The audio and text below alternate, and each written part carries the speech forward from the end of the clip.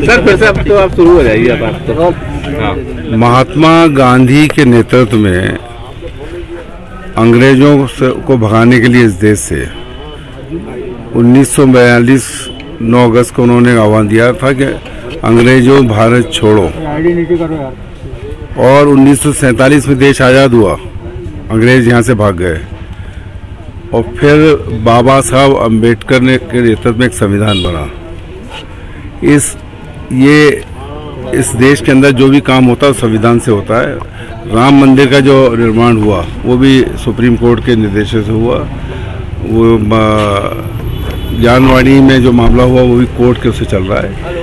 तो अगर किसी ने कोर्ट में चीज़ की है तो कोर्ट निर्णय लेगा और देश के सब नागरिकों को उसका सम्मान करते हैं ये अपन ने देख चुके हैं। इसलिए सोनिया गांधी ने उदयपुर से घोषणा की है कि भारत जोड़ो यात्रा कश्मीर से कन्याकुमारी तक कांग्रेस करेगी इसी भाई पर जो किताब को सर वो आधार बनाया जा रहा है कुदैसी बेगम ने जो अपनी किताब लिखी है उसको आधार बना के ना मानकर तो है ना वो दावा कर रहे हैं। देखिए बात उसकी नहीं है। बात हमारे दूसरे दावे हैं।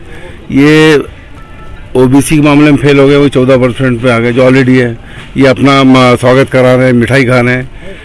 ये डीजल, पेट्रोल, रसोई गैस की बात कर नहीं रहे हमारा कहना है कि रसोई गैस 300-400 में कम मिलेगी।